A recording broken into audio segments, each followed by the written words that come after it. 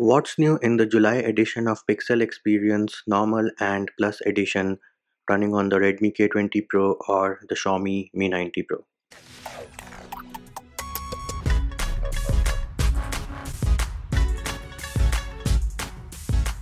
What's up peeps, Munchy here, back with another video and in this video I'm going to show you what is new in the Pixel Experience July builds of normal and plus edition running on the Redmi K20 Pro or the Xiaomi Mi 9T Pro. We are first going to talk about the changes which are common to both the normal and plus edition. So the first change is that the security patch level has been updated to July 5th 2020. The kernel they are using is perf kernel and the build is from April 27th.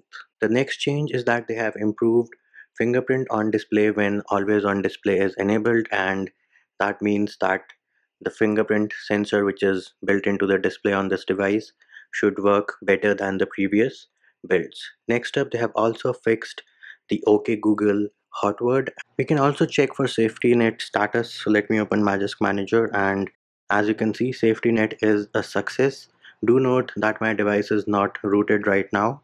However, if you root your device, you might have to use Magisk Hide to pass safety net and once you pass safety net, you should be able to use your banking apps without any issues. We can also check for the OpenGL drivers. As you can see, they are from 3.14.20. So those are the changes which were common to both the normal and plus edition. Now we will move over to the changes which are fixed or present only in the plus edition. So the first change is if you go into settings and then if you go into apps and notifications, click on app info let us say I go into the Chrome application click on advanced. You have this option of mobile data and Wi-Fi. If you tap on it you now have a bunch of different options. So as you can see you can enable or disable the usage of Wi-Fi data cellular data background data VPN data. These are the different toggles which you have. Now if I bring in my Pixel 3 for comparison purposes do note it is running Android 10 we are in Chrome application. If I go into mobile data and Wi-Fi, you will see that I have only two options. So I have background data and unrestricted data usage.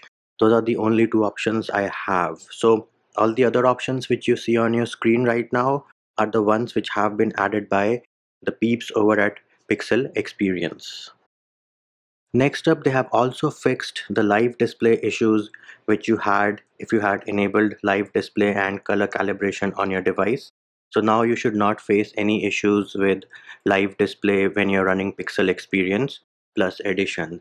And in terms of gestures and smoothness, I personally did not notice any lags, any jitters or anything like that with this Pixel Experience Plus Edition build running on my Redmi K20 Pro and there it is peeps. That is what was new in the July build of Pixel Experience running on the Redmi K20 Pro or the Xiaomi Mi 9T Pro and that will do it for this video. Hope my video helped you. Likes shares and subscribes are appreciated. Feedback and comment more than welcome. See you when I see you